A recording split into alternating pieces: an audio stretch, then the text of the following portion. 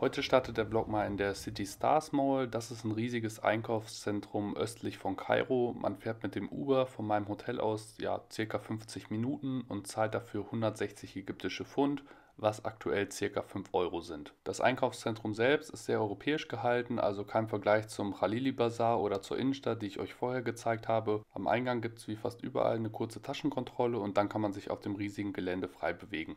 Die Mall erinnerte mich dabei stark an das Zentrum in Oberhausen oder auch die Europapassage in Hamburg. Trotzdem hat die Mall hier einen eigenen Charme und ist auf jeden Fall ja, viel, viel größer und dadurch auch ein bisschen unübersichtlicher. Also Leute mit Orientierungsschwierigkeiten, ja, könnten hier echt Probleme bekommen. Es geht halt häufig hoch und runter, um in die verschiedenen Abteilungen überhaupt zu kommen. Trotzdem fand ich die Mall super interessant und es war morgens auch nicht ganz so voll, wie ihr auch im Video sehen könnt. In der Mall selbst gibt es dann alles, was das Herz begehrt, von Klamotten über Elektroartikel wie Handy, Fernseher etc bis hin zu Möbeln und kleineren Geschenken ist hier wirklich alles vorhanden. Nachdem ich das Video dann irgendwann beendet habe, habe ich mir die einzelnen Läden noch näher angesehen, also vor allem Klamottenläden und Elektrogeschäfte. Bei den Klamotten ist das Preislevel mindestens mal 20% über dem, was ihr in Deutschland zum Beispiel für einen Markenpullover oder für eine Markenhose zahlen würdet. Was mich allerdings gewundert hat oder zumindest positiv überrascht hat, war, dass die hier die aktuellsten Kollektionen haben. Also ich bin, wie gesagt, kein so krasser Markenfreak, aber man konnte alle Artikel eins zu eins googeln und das hätte ich nicht gedacht. Ich hätte gedacht, dass die so ein halbes Jahr oder ein ganzes Jahr hinterherhängen. Bei Elektroartikeln geht es vom Preis her echt. Also manches ist ja halt teurer als bei uns, wieder so um die 10, 20 Prozent. Es gibt aber auch vieles, was genauso 10, 20 Prozent günstiger ist als bei uns. Gerade Elektro-Großgeräte sind hier definitiv auch günstiger als bei uns. Also Kühlschränke, Fernseher oder Waschmaschinen, Spülmaschinen etc. Also wer ein bisschen flanieren möchte und auch der Hektik von draußen so ein bisschen entkommen möchte, der ist hier perfekt aufgehoben. Dass man hier etwas mehr zahlt, ist, denke ich, auch den meisten vorher schon klar gewesen. Einen kleinen Abstecher kann man meiner Meinung nach aber trotzdem hierher ruhig mal machen. Vorausgesetzt natürlich, man hat genug Zeit in Kairo zur Verfügung. Ich denke mal, die Mall ist eher für Leute interessant, die wirklich ein paar Tage in Kairo bleiben oder so einen typischen Städtetrip von Deutschland aus für drei, vier Tage machen. Time I close my eyes.